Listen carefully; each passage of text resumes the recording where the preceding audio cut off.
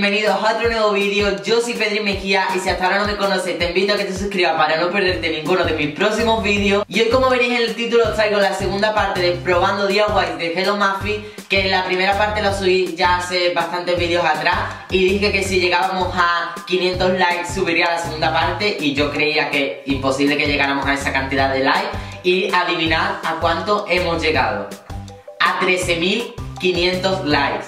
Eh, cómo no iba a ser la segunda parte si hemos llegado a tantos likes y os lo merecéis. Así que eso, hoy os traigo este vídeo que para los que no conozcáis, a Hello Muffy es una youtuber que sube manualidades, experimentos, no sé, DIYs a su canal y tiene un canal en español y otro en inglés que os dejaré su canal y todos los vídeos que yo rehaga en este vídeo en la cajita de descripción para que os paséis, aunque creo que ya todos la conoceréis porque su vídeo está muy muy guay. Y eso, que el vídeo de hoy no iba a ser este, iba a ser el especial 50.000, pero de verdad Mm, se me ha venido el tiempo encima y este vídeo ya lo tenía casi terminado. Así que hoy os traigo este vídeo, el próximo será el especial 50.000 Y ya los siguientes creo que serán sobre Navidad porque ya se acercan las Navidades. Así que bueno, vamos a empezar ya con el vídeo y tú y yo nos vemos en el siguiente. ¡Adiós! Vamos a comenzar haciendo caca falsa. Para ello, en un recipiente necesitarás poner acondicionador del que se usa normalmente para el pelo, la cantidad depende de cuánta caca, aunque suene muy mal, quieras hacer.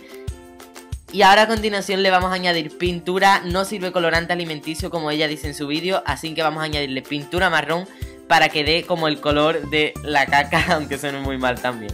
Ahora lo vas a pasar a otro bol un poco más grande porque ahora vamos a necesitar echarle maicena, fécula de maíz o harina fina de maíz, como queráis llamarlo, y lo vamos a ir echando poco a poco y también mezclando para que se vaya formando una masa y que podamos amasarla bien con las manos.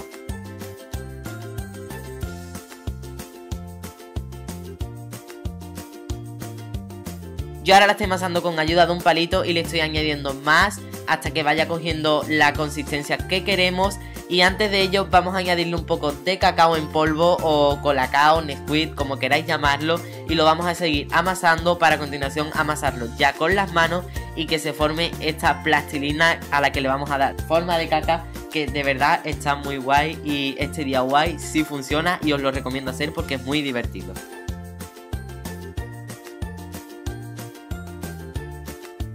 Ahora vamos a intentar hacer tinta invisible con Coca-Cola y para ello primero necesitas un rotulador o un marcador como queráis llamarlo y vais a tener que retirar la tapita que viene por detrás para poder sacar la esponja que viene con la tinta con la que pintamos.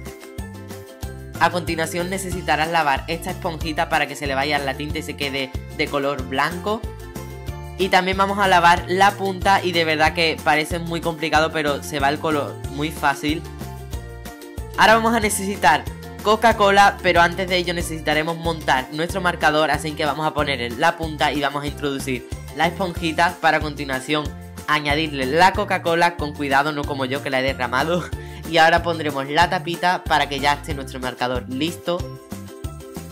Ahora necesitaremos una plancha y vamos a pintar con nuestro marcador en cualquier papel para a continuación darle calor con la plancha o también sirve con una vela y ya se revele nuestra tinta y se vea así súper guay que la verdad que me gusta muchísimo y este día guay también funciona.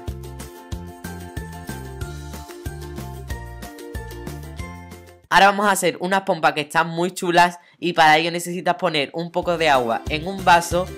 También vas a añadirle jabón para traste o simplemente jabón normal del que quieras. Y ahora con una pajita o popote vas a soplar y se formarán estas burbujas a las que le echaremos colorante del color que quieras para a continuación poner una hoja por encima y queda este estampado que está súper súper guay y este DIY también funciona. Ahora vamos a intentar hacer un sacapunta con este paquete de chicle.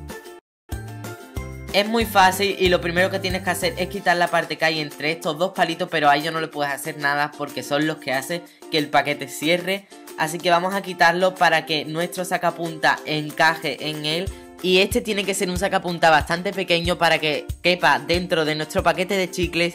Y ahora con ayuda de la pistola de silicona calentando la parte de adentro haremos un boquete por donde pasará nuestro lápiz. Asegúrate de que quepa y ahora solamente queda pegar nuestro sacapunta, yo lo he hecho con ayuda de una pistola de silicona, pero podéis usar cualquier pegamento que sea muy resistente y una vez seco ya tendréis este sacapunta tan original que la verdad es una de las ideas que más me gusta de los vídeos de Hello Murphy y sí funciona y lo recomiendo hacer porque queda muy chulo.